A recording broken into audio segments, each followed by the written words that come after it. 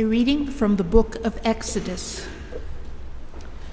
The Lord said to Moses, Go down at once to your people, whom you brought out of the land of Egypt, for they have become depraved. They have soon turned aside from the way I pointed out to them, making for themselves a molten calf and worshiping it, sacrificing to it, and crying out, This is your God, O Israel, who brought you out of the land of Egypt.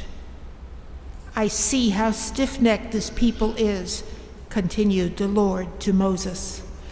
Let me alone then, that my wrath may blaze up against them to consume them. Then I will make of you a great nation. But Moses implored the Lord his God, saying, Why, O Lord, should your wrath blaze up against your own people, whom you brought out of the land of Egypt with such great power and with so strong a hand? Remember your servants, Abraham, Isaac, and Israel, and how you swore to them by your own self, saying, I will make your descendants as numerous as the stars in the sky, and all this land that I promised, I will give your descendants as their perpetual heritage. So the Lord relented in the punishment he had threatened to inflict on his people. The word of the Lord. Thanks be to God.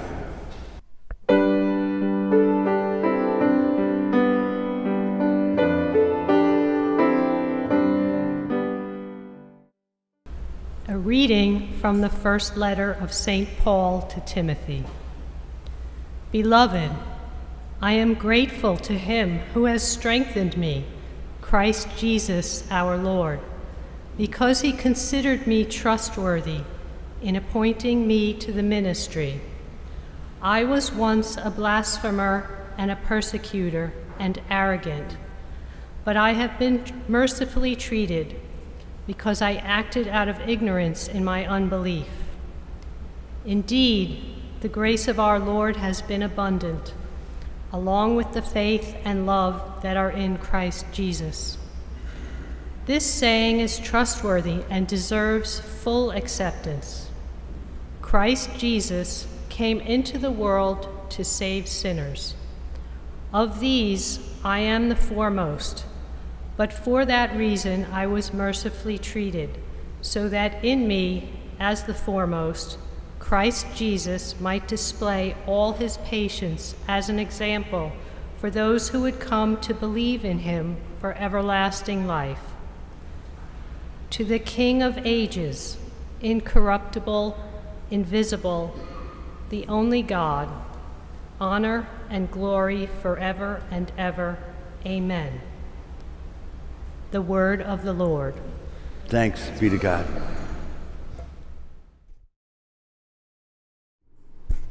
The Lord be with you. A reading from the Holy Gospel according to Luke. Tax collectors and sinners were drawing near to Jesus to listen.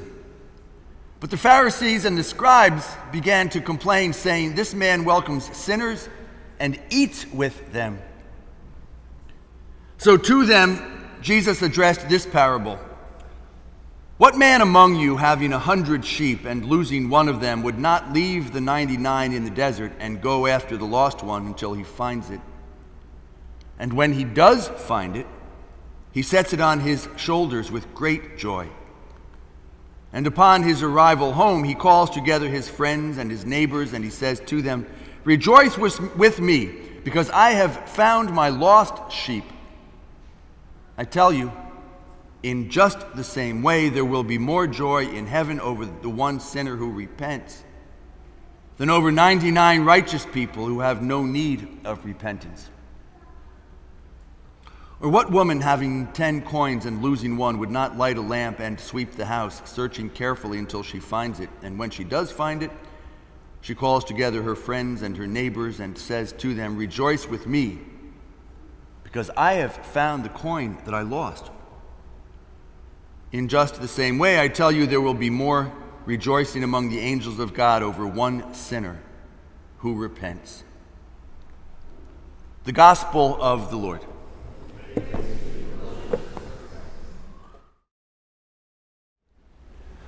All right, so at the time of this conversation, Ken was just north of 90 and Clarence was just approaching 90. Both of them had been um, widowers for many decades. They both lost their wives very young, never remarried, had confirmed bachelor existence, and used to go out to coffee after Mass a lot on weekday mornings. And then sometimes on Saturday, they would twist my arm after Mass. This is back when I was in Wisconsin at St. Albert's Parish. And Ken and Clarence and I would go down to the Prairie Diner with the very uh, efficient waitress.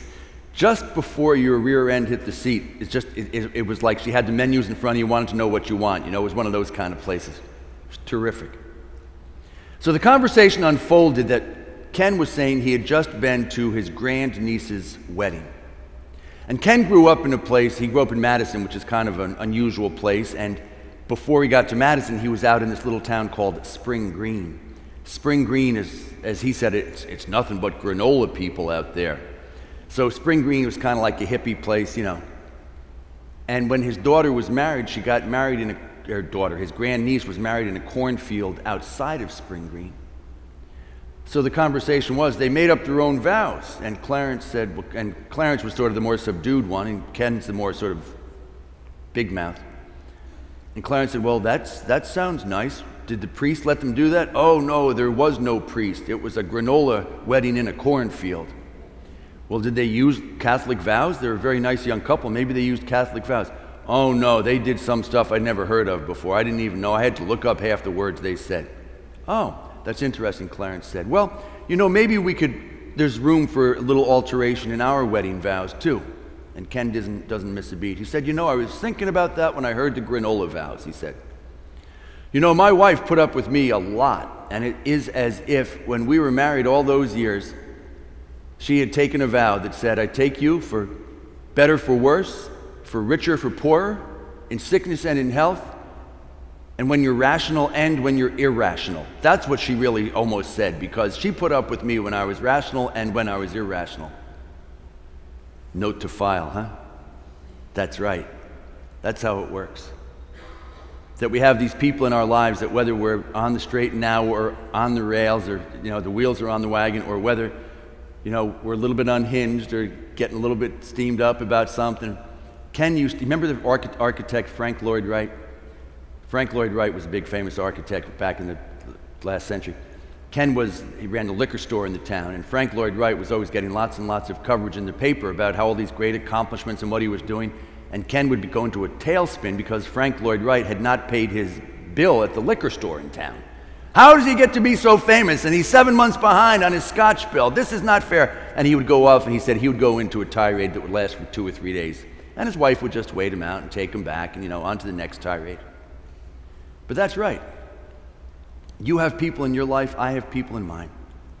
That when I'm rational, they'll be good and stay around and even when I'm irrational, they're not going to head for the hills, like Mrs. McCarville. And that all opens us up to just the littlest image of God's fidelity when we are irrational. And so, this week, next week, the last week in September, as we look at this question of what does it mean to be rational, let's start off clarifying. Even when we are irrational, God sticks with us, and God's always trying to restore us to rationality and lift us up. But what do we as Catholics mean by rationality? It's not the same thing exactly that Ken meant when he talked about him flying off the handle. As Catholics, we come at this from the tradition of, well, especially as I understand it, St. Augustine back in the year, what, 500 and something, St. Anselm at the turn of the millennium, St. Thomas Aquinas, up just a little bit after that, the AAA, huh? Anselm, Augustine, Aquinas. And what comes to us is this human beings are rational when they do three things they know the goal that they're trying to achieve, they know the means for achieving that goal, and they choose the means that get them to that goal. Okay? Three things to be rational know the goal, Know the means, choose the right means. If you want to get to New York, that's your goal. The options are well, I could drive, I could take the bus, I suppose I could ride my bike, I could take the train. Okay, these are all the different means. And then let's say you go down to the train station at Rutgers and you get on the train southbound going to Philly. Are you being rational or irrational? Irrational. There's your goal, here's how you do it, and you're, you're, you're not pursuing the means in the appropriate way. I'm not suggesting for you Eagles fans that every time someone goes to Philadelphia they're being irrational. I'm just saying that in this case, that's an instance of being irrational. We know, as Christians, that we have built into us this desire for our goal. Our goal is heaven. And on earth, the goal that we all have in our hearts, that our guts keep telling us, and that little trustworthy voice says, What you're seeking is true happiness. That's our goal. Every one of us, we doll it up in all sorts of different ways, but that's the thing we seek is true happiness. We know that as Christians, the only true happiness is the happiness that aligns with Christ's love and Christ's hopes. We can call it happiness, but we know it's not. So we're going in search of this thing, as Saint um, uh, was it Saint Bonaventure would say, "Our hearts are made for Thee, O Lord, and they shall not rest until they rest in Thee." Our hearts are programmed for being happy in connection with God. Every once in a while, we get really goofy and we head off in different directions, pursuing some happiness that has nothing to do with Christ's hope or Christ's love. We become completely irrational. It's not all the time, it's, it's rare, it's infrequent. But we do have those moments when we're trying to pursue happiness, but what we do is not pursue the happiness that's true happiness. We get distracted. And when we do, God calls us back, challenges us, and it's not just some big fairy tale, it's the story in the readings, and it's the story in your life and in my life. In the first reading today, it's the story of the children of Israel becoming irrational and God bringing them back to rationality. The children of Israel are leaving Egypt, and what's their destination? What's their goal? They know what it is, you know what it is. What's the goal for the children of Israel? Where are they trying to go? Get back home, get to the promised land, the land flowing with milk and honey. How do they get there? Follow Moses' directions, do what Moses says. Today we get the passage. They want to get to the land flowing with milk and honey. Moses goes up the mountain. He stays a little bit longer than they had expected. They hit the panic button and they start to worship a golden calf that they've made. That's completely irrational. And Moses comes down the mountain, and then the Lord is furious with the people of Israel. And the Lord says, I think I've had enough of them, Moses. I'm not quite sure, but I think this is the last straw. And Moses talks God out of it. Right? God does that all the time. God says, okay, Moses, let's get them to their goal. Let's get them to that true happiness. Let's get them to the promised land. Let's reboot. Let's start this thing over again. Even when they became irrational, God said, You know, I still love you. You're really bugging me, but I'm going to work with you. Let's get you back on track. Paul looks back on the period of his own irrationality before the Damascus Road experience. Paul was in pursuit of true happiness just like you pursue it and I pursue it. Paul's pursuing true happiness, but he's got it all dressed up thinking the best way to be happy is to destroy this Christian religion. Well, that doesn't line up with God's hopes. And God finally got that message through to Paul on the Damascus Road. Paul, you can keep doing that for as long as you want. You're never going to be happy. Paul, why are you doing this? Saul, Saul, why do you persecute me? And Paul has that great big experience and redefines what it is to be truly happy. And he pursues it as an apostle of Christ rather than as an opponent of Christ. So he gives up his harebrained notion of what it means to be happy and how he's going to get there and takes on this whole new thing and he regains his rationality. And he says three different ways in today's second reading The Lord was merciful toward me. I was blasphemous, I was a persecutor, and I was arrogant. Three times he says, The Lord was merciful to me, the Lord brought me back. That's what God does when we become irrational. Never fails. There's always that voice that says, Come on back. In the gospel today, we get two experiences, two incidents, or two examples of the irrational people. The gospel today starts off with the mention of sinners and tax collectors. Now, talk about irrational. Why would you become a tax collector? For the good life. Wait, what you really want, Mr. Tax Collector, is to be happy. But what you're doing is making everybody your worst enemy, and your life is miserable. Right? You might have a couple of extra shekels, but you can't stand coming into town, and they all can't stand you. You're miserable, Mr. Tax Collector. And what does Jesus do? Does Jesus take the same approach as the scribes and the Pharisees and say, stay away from that irrational person? Jesus says, you know what? Let's get together for dinner. I'd like to talk to you. I'd like to throw some new ideas in your direction about what it might mean to be truly happy. And the same thing with the sinners. And by the way, yes, think it through.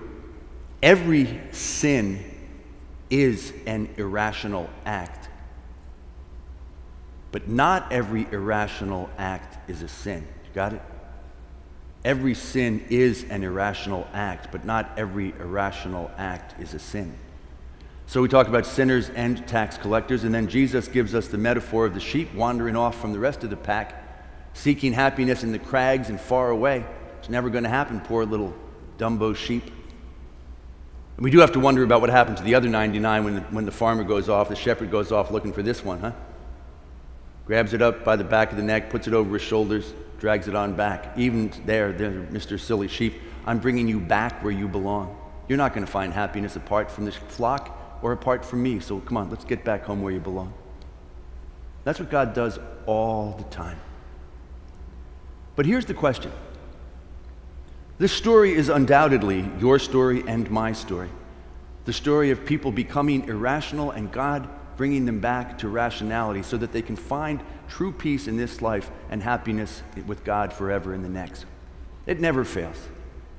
And we get enough irrational pursuits that we know we're going to have a few more. But how does the Lord's voice work in your life? And it depends on the kind of irrationality that we pursue.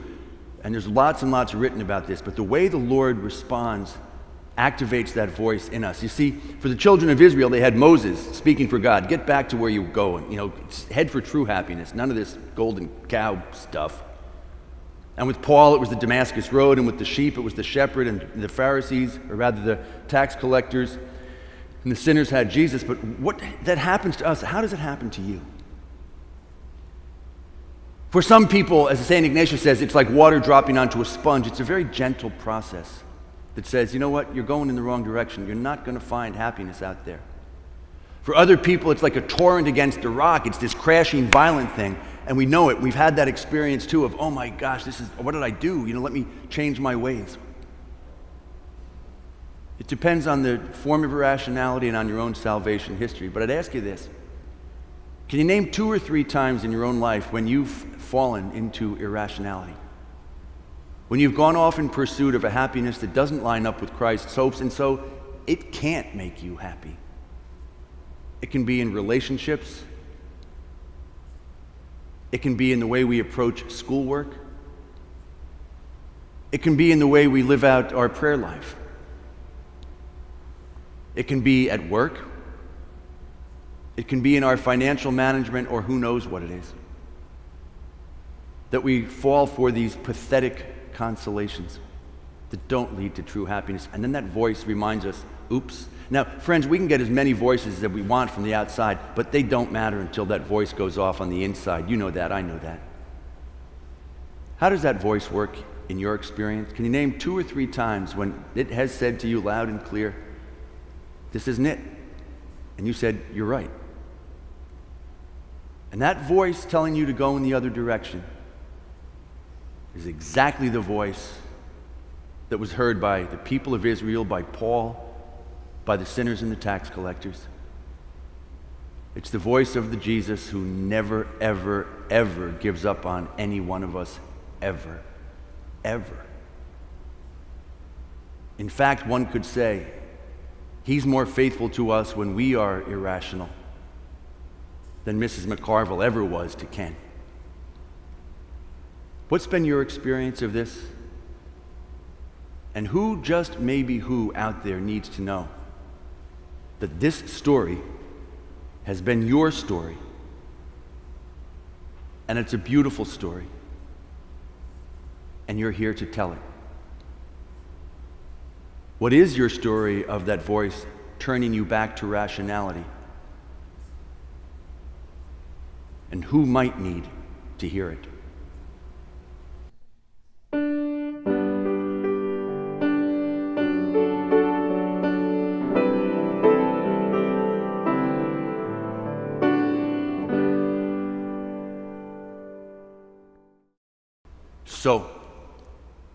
Each one of us, we can look around the world and see moments of extreme irrationality in our neighborhoods, in our state, in our country.